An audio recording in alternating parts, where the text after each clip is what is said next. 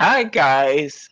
It's wonderful to be with you today. Um, this sermon is called Poison, and I will put it up on YouTube as soon as I'm able, along with the other two videos that I did last week and the week before. Let's pray. Father, I thank you for what you've done and what you're about to do. I thank you for what you're about to speak to us about the emotional poisons and cancers in our lives. Lord God, teach us today how um, to get them out of our lives so we can be free. Give us practical tips and tools, oh God. Speak to me, speak through me. Speak to me, speak through me in the name of Jesus. Amen. So, guys, I hope everyone is ha having a great day, day or night, whenever you're watching this. Um, I was reading um, a book because many of you know I'm a reader. So I was reading a book called The Broken the the, the Broken Vows. And in that book it was about um um a man and a woman. Um uh they're they've known each other forever and they they fell in love they had a relationship and they wanted to get married. But the grandparents they were of opposing families and they absolutely hated each other. And as i as i was uh, reading this book uh, the Lord spoke to me. This is not a Christian romance, it's a regular contemporary romance. Um, the Lord spoke to me as I was reading this book. He says, I want you to talk about poison. I said, What? He said, I want you to talk about emotional poison. And so that's what I'm doing right now. Um, a lot of we know what physical poison is.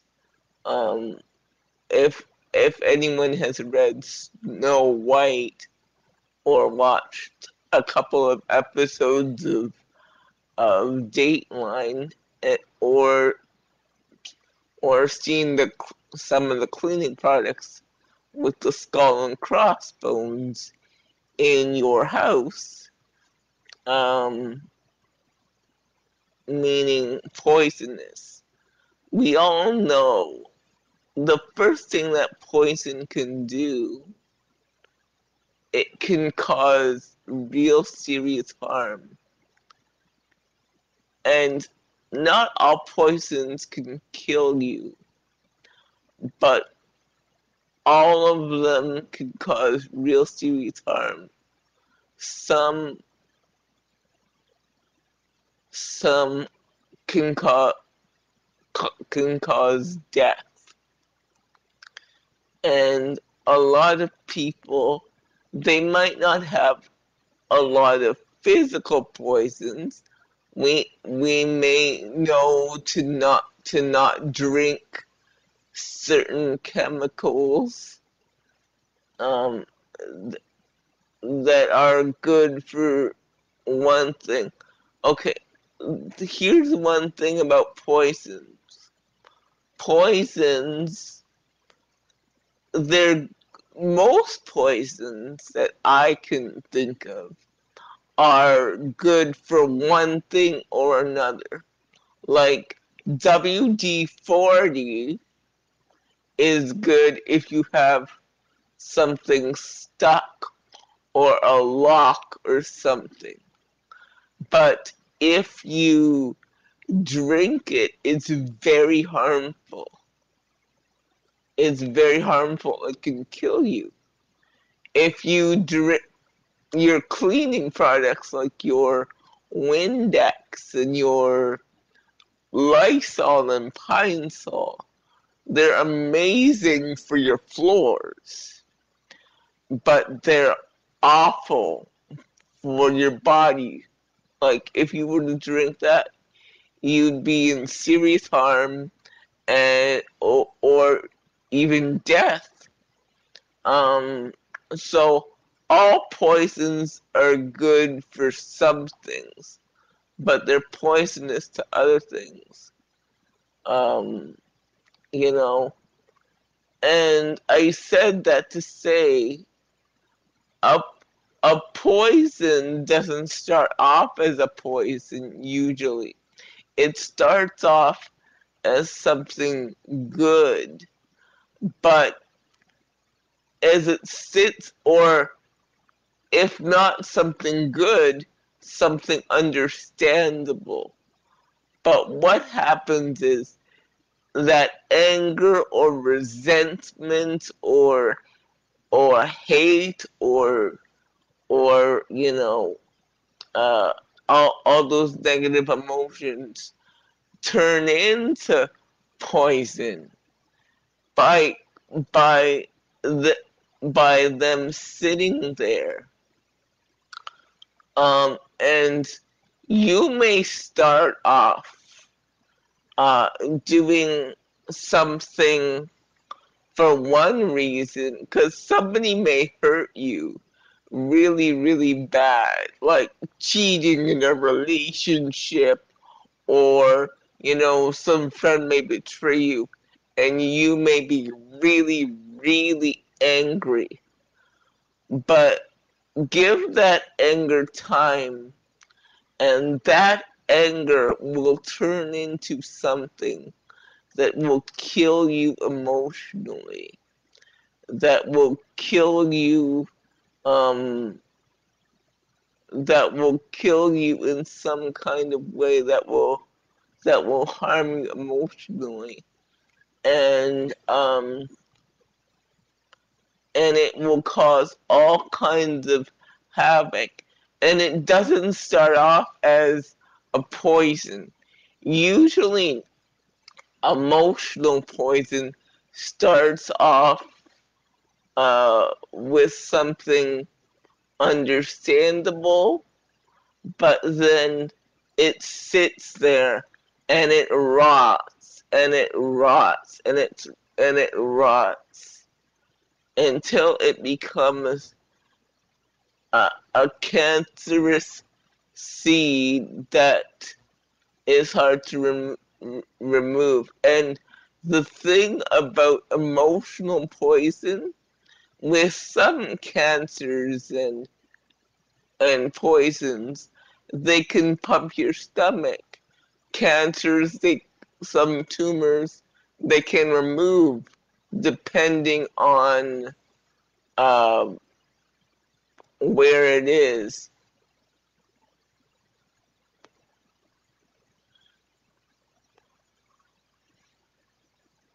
Um, because sometimes all cancer is is good cells that go kind of haywire.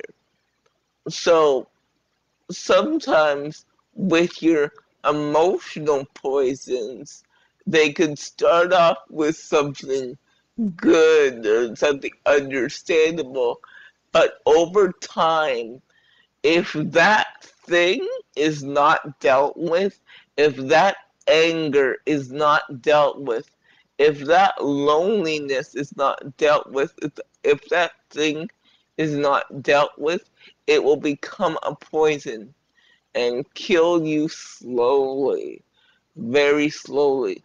Because you know what? Resentment piles onto resentment and little thing piles onto little thing until it's so high that you can't see your way clear. But the Lord came today and he says, I'm I'm getting that poison out of you.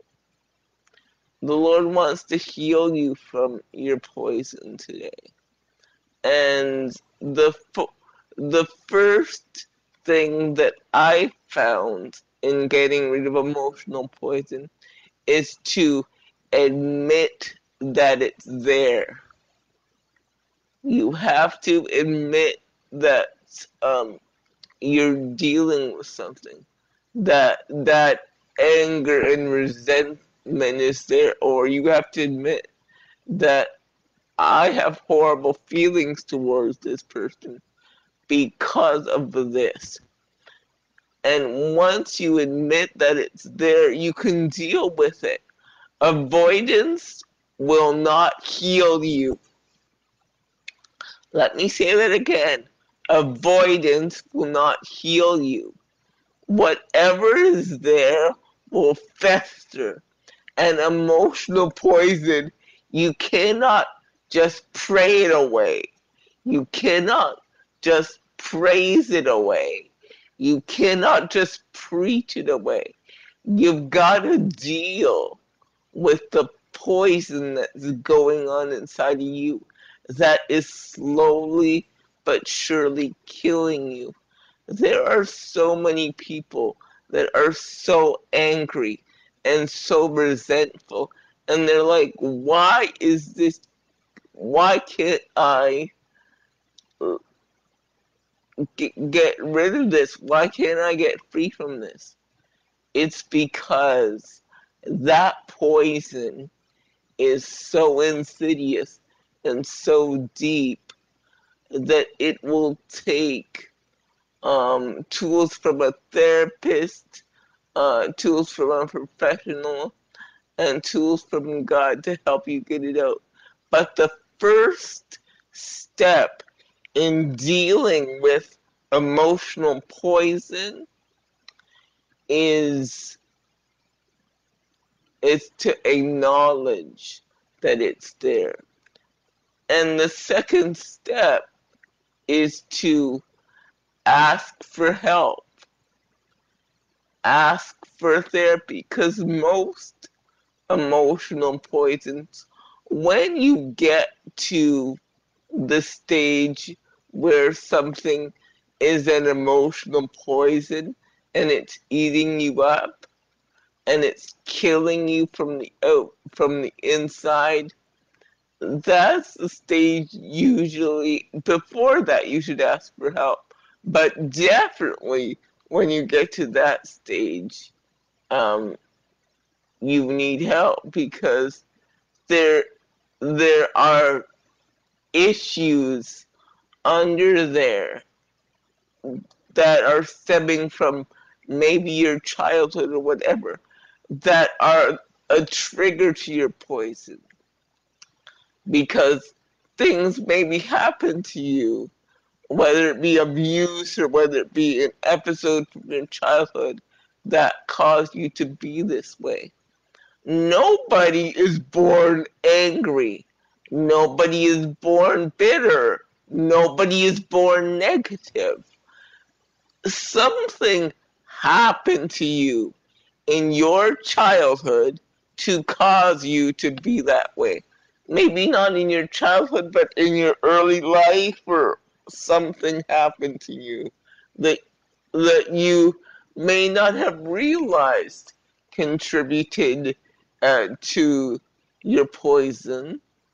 And I think that sometimes we're afraid to deal with that poison, but I can tell you, when you clear out the poison and when you can get to the root, what therapists help you do is they help you get to the root. They, they don't tell you what's wrong with you or whatever but they give you tools to get to, to help you discover what's going on or what's happening to you. That's what therapy does. They kind of give you tools to understand what's going on with you because they've studied different techniques to just help people find tools about what's going on with them. Their job is not to tell you and not to, to, to fix you. Their job, to my mind, is one, to be a listening ear, and two, to give you tools to discover what's going on with you and give you wisdom how to cope with what's going on with you. To get rid of the poison in your life because um, that poison has made you bitter. That denial has made you bitter. That resentment has made you bitter. That avoidance has made you bitter. And don't don't you want to have real joy in your life?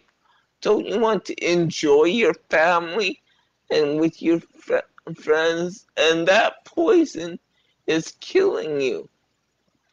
And I want to talk a bit here about poisonous people. Sometimes um, there are people that that have some childhood trauma, generational trauma going on inside, and they infect other people.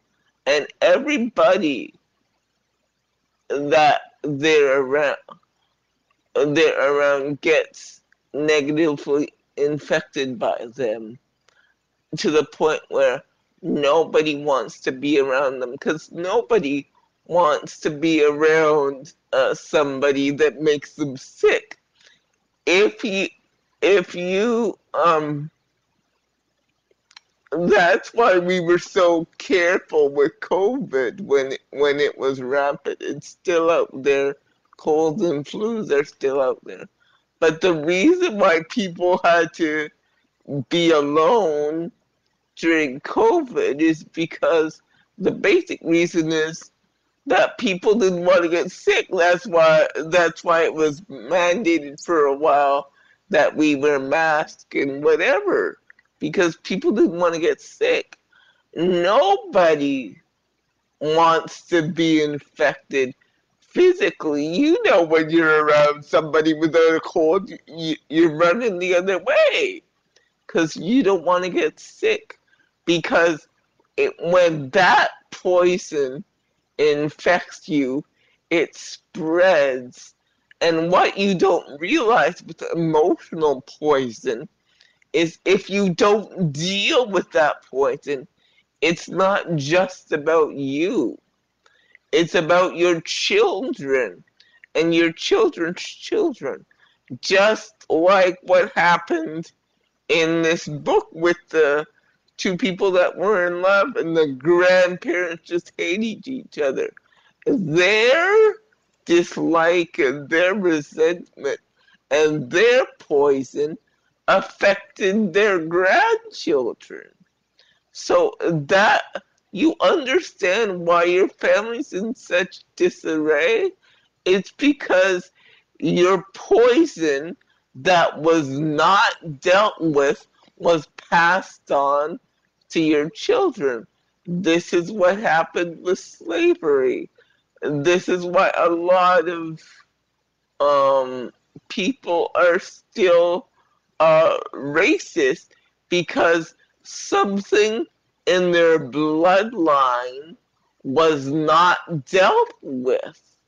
You know, you know, they may have abolished slavery, they may have um, abolished Jim Crow. It may have been uh, kind of, it may have been eradicated, but you can physically eradicate something, but emotionally, the seed goes deep and it becomes a poison.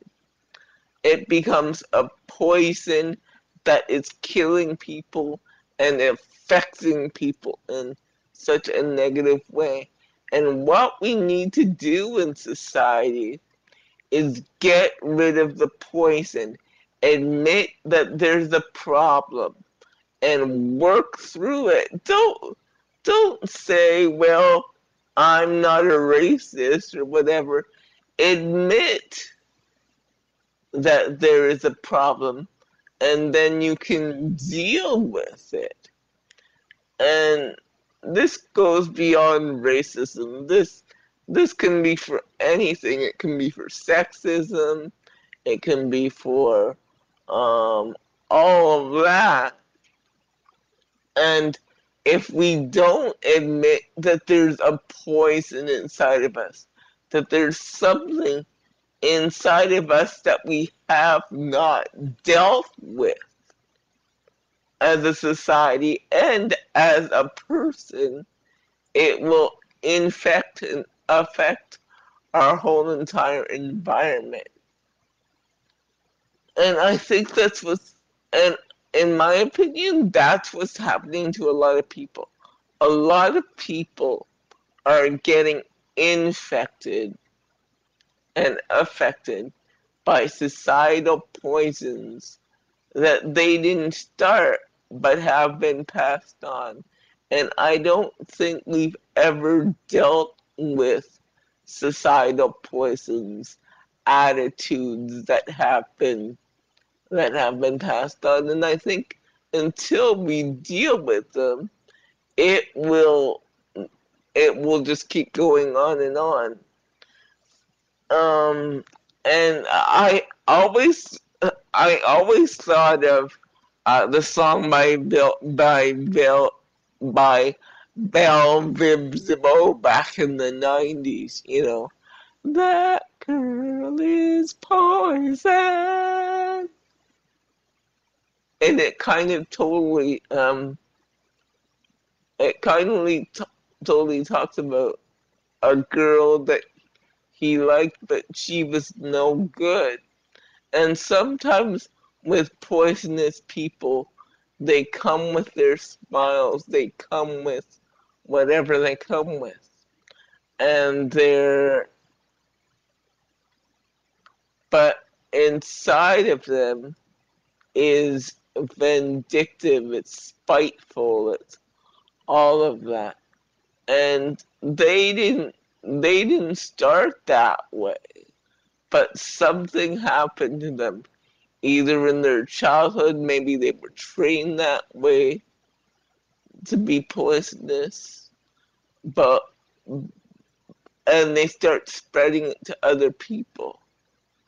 And sometimes um, people are people's people are poisonous by their words first um and by their actions and what i always say is words are are seed and you can spread uh, poison by your words and i'm not talking about constructive criticism and I'm not talking about constructive opinion, that's good.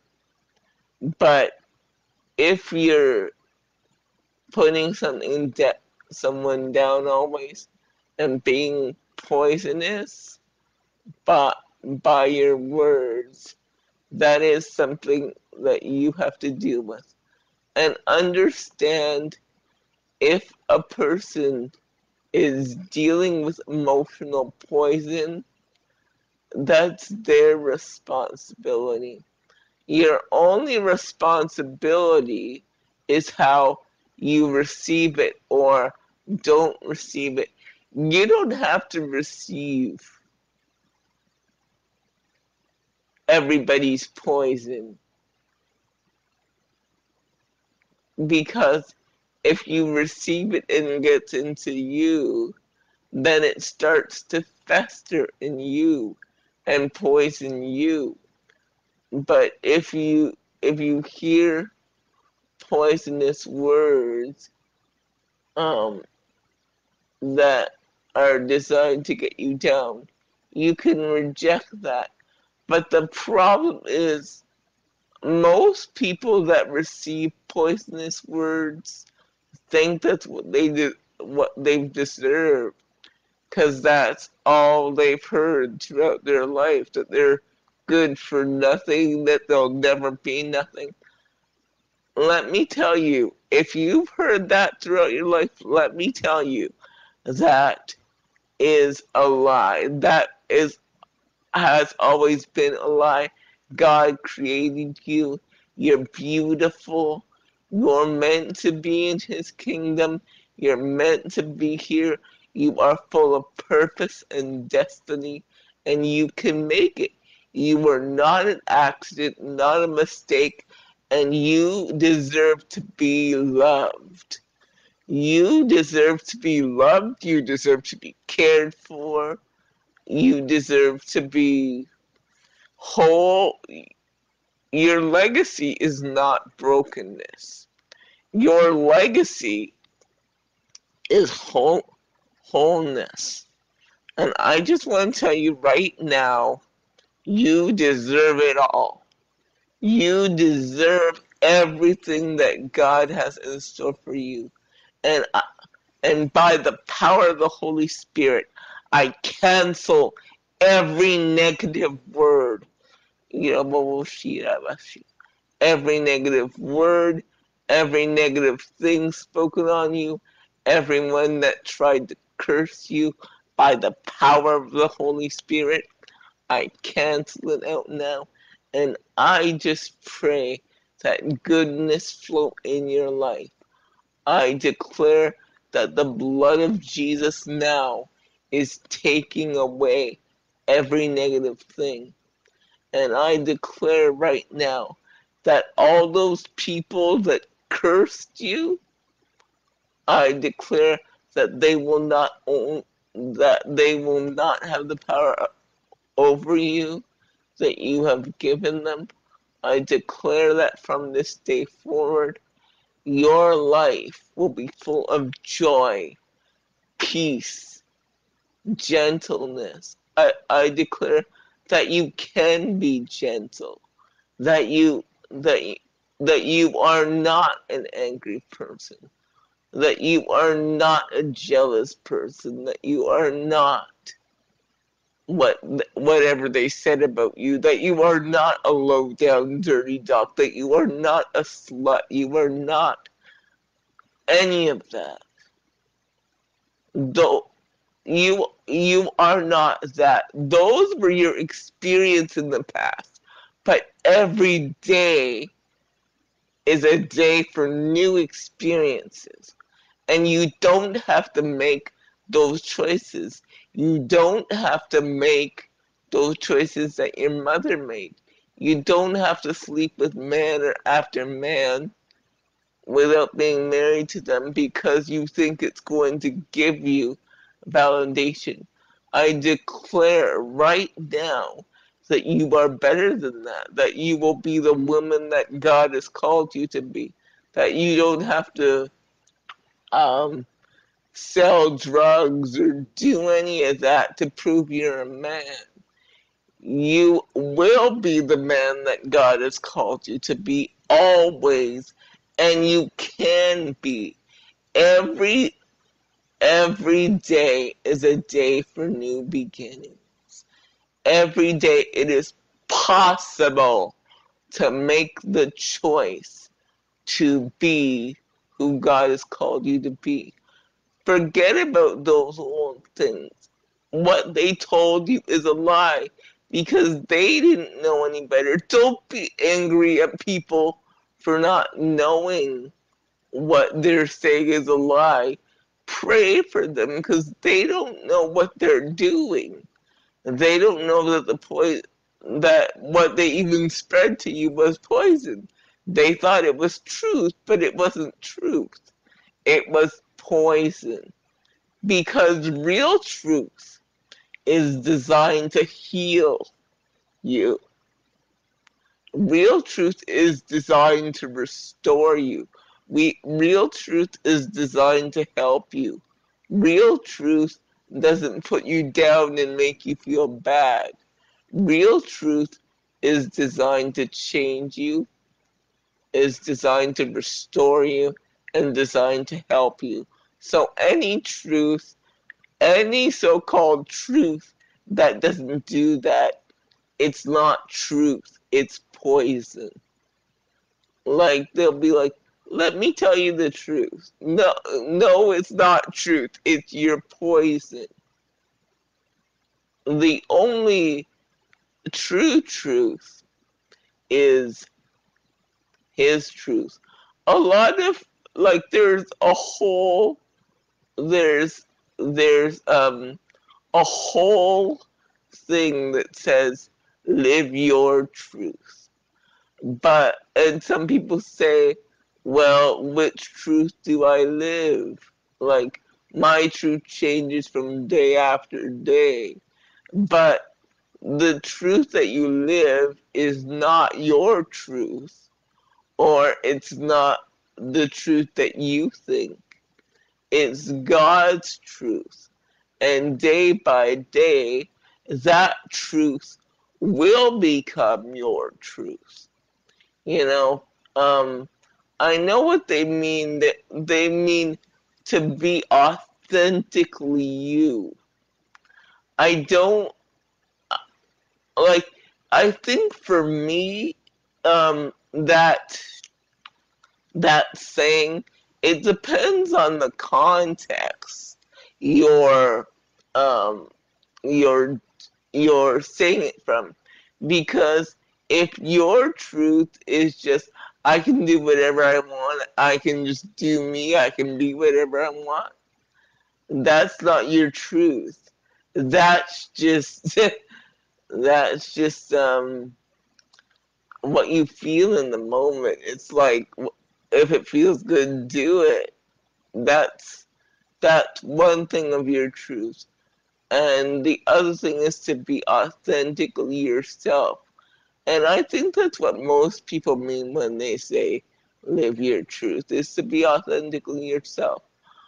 But sometimes, most times, you don't know who that is. So how are you supposed to live something that you don't know what it is? So what what I say is live his truth until it becomes your truth. So I say live his truth until it becomes your truth and because if you live his truth you will discover over time his version of your truth and you will discover and enjoy your authentic self. Because when your authentic self comes from Jesus and who he's created you and designed you to be and not who the world has told you that you you are and not. That truth can stay. Your and what like i said before your truth changes but his truth doesn't. So live his truth until it become until it merge live his live his truth until it becomes your truth. And your truth and his truth will merge to create your, someone who's authentically you. And your truth and his truth will, will be the same thing.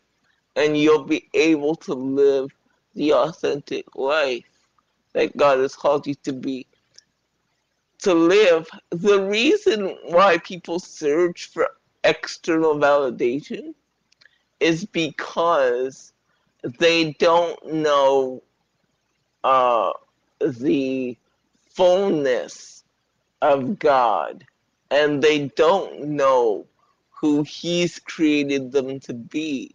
The, they think that God is a Christian religion or a Muslim thing or whatever. No, no, no. God so loved the world. The world is his. So if you're a part of the world, you have a chance to know him. You know, so so like if you get a chance to know him, you'll you'll start uncovering who you really are. I don't think me myself personally is that people don't discover who they are. People uncover who they are. Because who you are is there from birth, along with skin color, eye color, and all that. You just have to uncover it, uncover the truth that God has ordained you to have. It's and um and I heard this song by James Morrison. He said, I'm not lost, just undiscovered. And I think a lot of people are undiscovered. They don't know who they are. And I think the only true way to uncover and discover uncover his truth so that it can become your truth is to get to know him. And how you do that, um, it's just basically saying you need him. It's just basically saying, God, I need help and I need you. And he's just waiting for you to do that. And a lot of uh, preachers are told to, to say a prayer, but I just like to tell people speak to God from you because I can't talk to God for you because I'm not you. I have no idea what you're going through or where, where you are in your faith. And you don't have to use fancy words or anything. Just just cry out to him the way you do. He hears you. He loves you so much. And um and um he loves you so much and will hear you when you call. And if you need help after that, you could always message me and said I heard your message and blah blah blah and I'll be happy to help you after that. But you have to take the initial step and say, I need you. And I'm going to say something controversial. I'm say I'm going to say you don't have to fully believe yet. You just have to be curious to say you could say I don't know if this is real. I don't know if you're real. But if you are, or but just help me, or what whatever stage you are in your life, and and he will make himself uh, available to you in the way that that you could understand that he's real and you can understand that he's God. And um,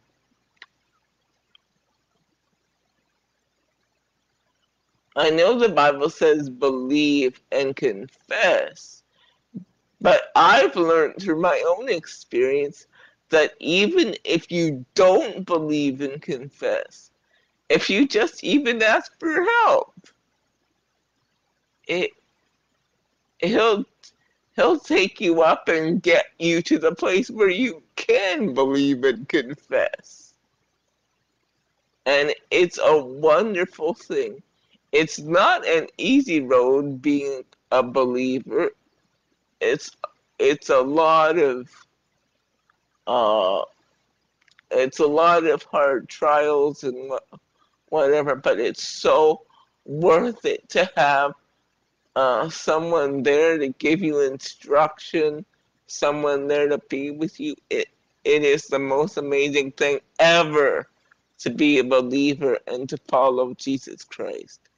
And when you understand who Jesus Christ is and who he's not, it will change your whole life. So, guys, thank you so much. And it will definitely start um, you getting the poison out of your life. And he will guide you to the resources and, and the people